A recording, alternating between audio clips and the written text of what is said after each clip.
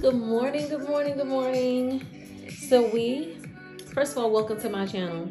I'm new to the platform, but I'm here to take you on an everyday journey to cooking things you do know about and to some new things, all of that. We're just exploring the whole world of cooking together.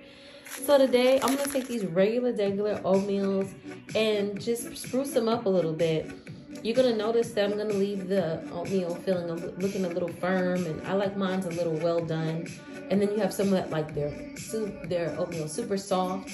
But as we turn this two packets of oatmeal into something nice, come along on the journey.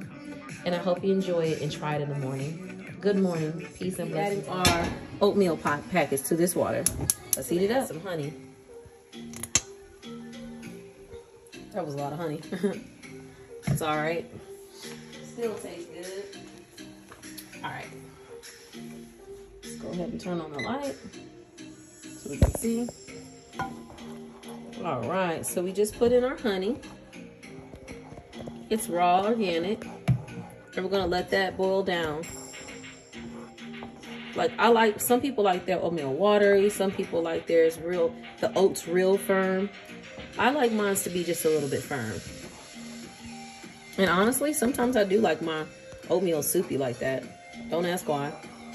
So all right, now we're gonna enter or pour our oatmeal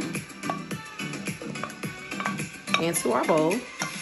And now here comes the sprucing up. We're gonna spruce it up this morning together.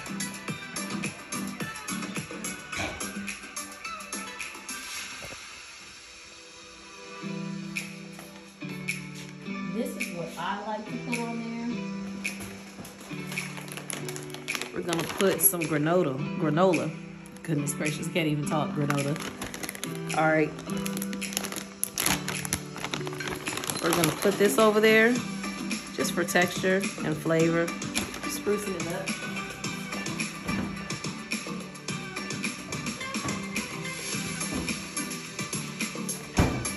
And just to get it to have more flavor, we're gonna add some vanilla oat milk and pour it all around the sides. Yep. Doesn't that look good? We're gonna add some toast and that'll be breakfast.